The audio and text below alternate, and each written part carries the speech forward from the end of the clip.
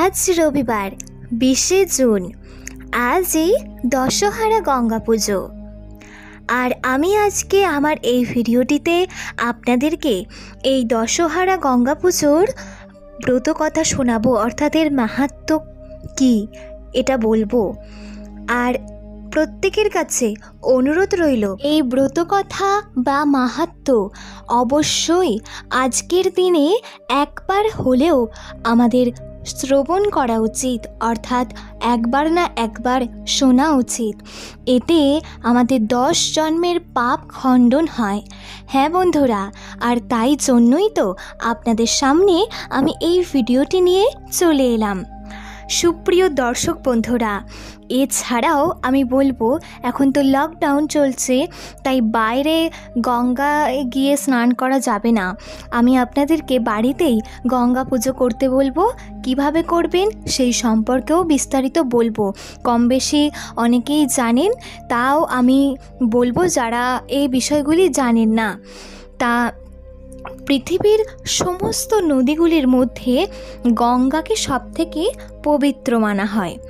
গঙ্গা নদীর মর্তে আগমনের দিনটিও হিন্দু ধর্মে উদযাপিত হয়, যেমন আজ গঙ্গা পুজো। হিন্দু ধর্মের মানুষের কাছে গঙ্গা হলো মায়ের মতো।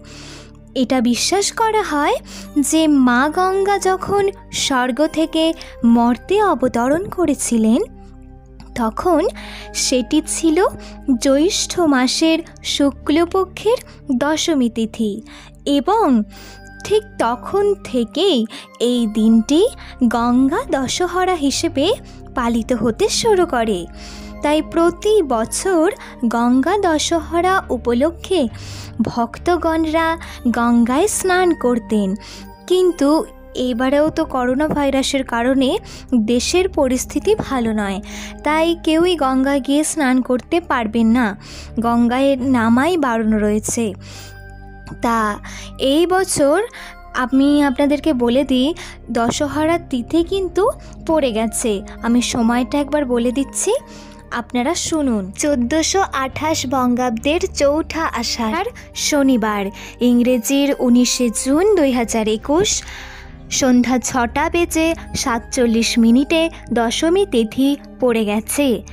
আর এই দশমীর তিথি থাকবে আজ পাঁচই আষাঢ় রবিবার বিশে জুন বিকেল চারটে বেজে বাইশ মিনিট পর্যন্ত। কিন্তু বন্ধুরা, দশমী তিথি শেষ হয়ে গেলেও আপনারা প্রত্যেকে সন্ধ্যায় হোক, রাত্রি হোক যত রাতি হোক না কেন, এই ব্রতকতার মাহাত্ম অবশ্যই একবার শ্রবণ করবেন। অন্ততপক্ষে আজকের দিনে একটা বার আপনারা শুনবেন। এতেও কিন্তু অনেক পাপ আপনি আপনার পাপ থেকে মুক্তি পাবেন।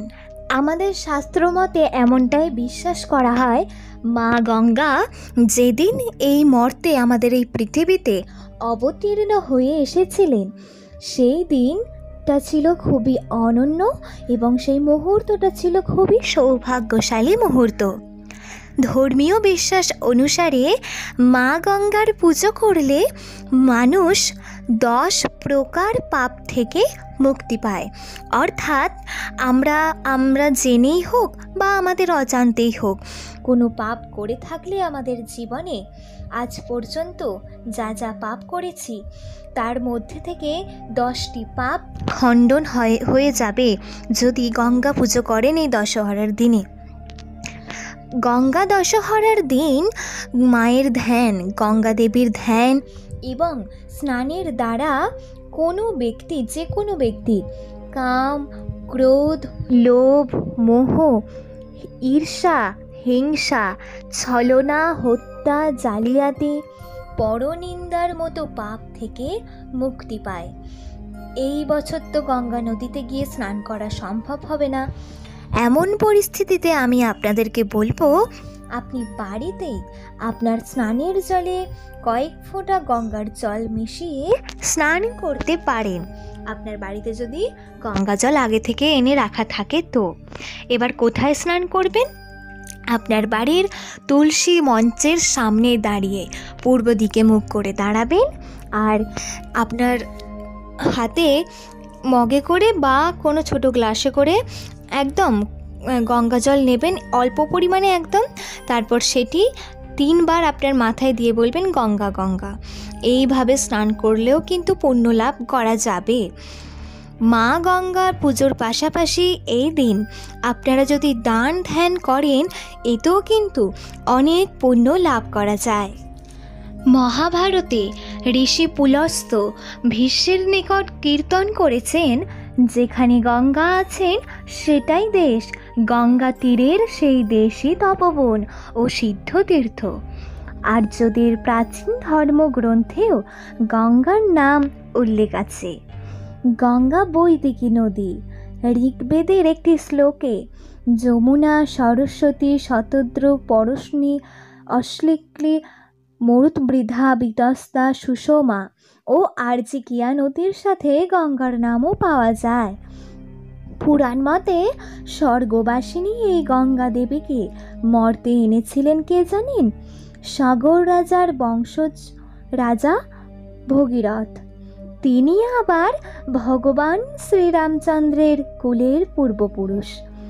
পৌরাণিক আখ্যান মতে সাগর রাজার ষাট হাজার পুত্র কপিল অভিশাপে ভস্য হলে তাদের প্রেতাত্মার মুক্তির জন্য স্বর্গ থেকে গঙ্গাকে গঙ্গা দেবীকে আনবার প্রয়োজন পড়ে।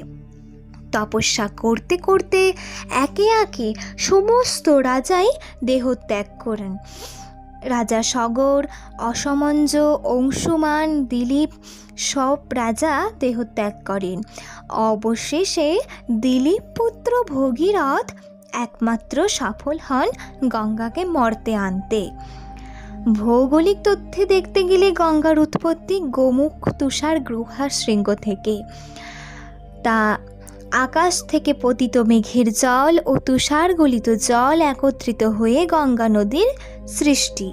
আমাদের এই আধুনিক যুগে আমাদের আশেপাশে প্রতিনিয়ত নানান ধরনের অন্যায় কাজ ঘটেই চলেছে, করেই চলেছে প্রত্যেক মানুষ। আমরা জেনেই হোক বা অজান্তেই হোক, অনেক পাপ করে যাচ্ছি। কিন্তু এখন প্রশ্ন, এই পাপের হাত থেকে কি আমাদের মুক্তি নেই? সনাতন ধর্মশাস্ত্র অভয় দিয়ে বলে, নিশ্চয়ই রয়েছে। শুভ কাজে অশুভ কর্মের বিনাশ, ঠিক সেই রকমই পুণ্য কর্মে পাপের ক্ষয়। তাই তো এই পুজো অর্চনা ব্রতকথা নিয়ম যাগযজ্ঞ করে সব পাপ বিনাশ করা যায়, আর এই দশ পাপ হরা দশহরা এই রকমই একটি পুণ্যতিথি। বন্ধুরা, পরদ্রব্য হরণ অর্থাৎ অন্যের জিনিস নিয়ে নেওয়া, অযথা হিংসা আর বৃথা পান প্রাণী হত্যা অর্থাৎ কোনো কারণ ছাড়াই পশু পাখি জীবজন্তুদের মেরে ফেলা। অবৈধ কাজকর্ম, অবৈধ সম্পর্ক, এই তিনটি দেহগত পাপ থেকে দূরে থাকুন। আর এছাড়াও বাক্যগত পাপ রয়েছে। অহংকারী কথা, মিথ্যা কথা, পরনিন্দা, তারপর অসংবদ্ধ প্রলাপ অর্থাৎ বাজে গালিগালাজ করা। এই ধরনের চারটি বাক্যগত পাপ থেকেও বিরত থাকুন। কখনোই অন্যের দ্রব্যের কামনা করবেন না, অন্যের অনিষ্ট চিন্তা করবেন না, কারোর খারাপ চাইবেন না, আর মিথ্যা কথার প্রতি আসক্তি হয়ে পড়বেন না।